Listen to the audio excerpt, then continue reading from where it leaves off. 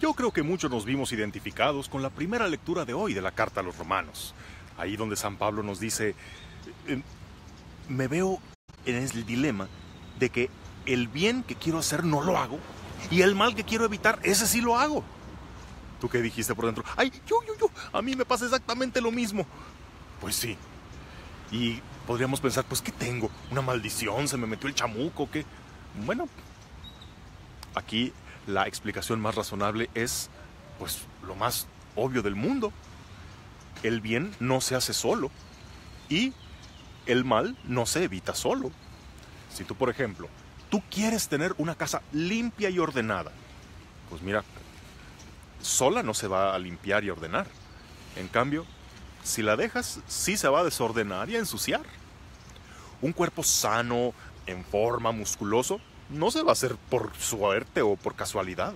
En cambio, un cuerpo enfermizo, flácido o gordo, ese sí, nada más descuídate tantito y lo tendrás, tenlo por seguro. De igual modo, si el bien es siempre cuesta arriba, las cosas no suben así, cuesta arriba solas. Si no se hace conscientemente, lo único que podemos hacer es obedecer la ley de la gravedad y bajar, bajar. Porque, ni modo, esa es la ley. El mal, mientras no nos decidimos en evitarlo conscientemente, lo hacemos. Y el bien que queremos hacer, a menos que tomemos la firme determinación de hacerlo, este no se hará solo. San Pablo mismo, él nos dirá en otra parte, en otra de sus cartas, yo por eso a mi cuerpo sometido al pecado, yo lo someto, lo esclavizo, para que haga lo que yo le mando. De modo que yo que he predicado a los demás, no resulte yo mismo descalificado.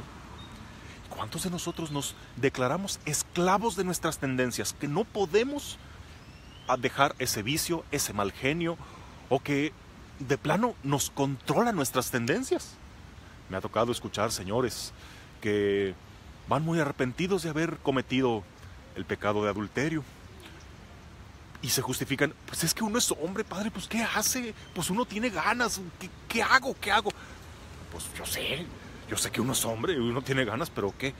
¿Solo te vas a dejar dominar por tus instintos, tus tendencias, que no tienes un valor más grande por el que puedas decir definitivamente no? Pues claro, si tú te dejas arrastrar por el viento de las pasiones, solito te vas a ir. Te vas rodando cuesta abajo.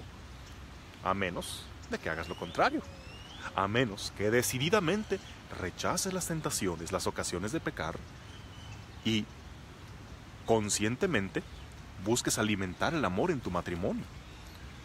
Que no creas que no se da solo por tu mala suerte, sino porque no te decides a que resurja. Y dime, ¿tú vas a seguir echándole la culpa a la mala suerte? ¿O vas a descubrir que en ese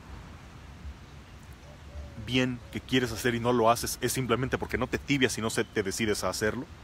Y en ese mal que no quieres, lo que te falta es poner una gran decisión y fuerza de voluntad para evitarlo. Tenemos la ayuda de la gracia de Dios. Él nos hace libres.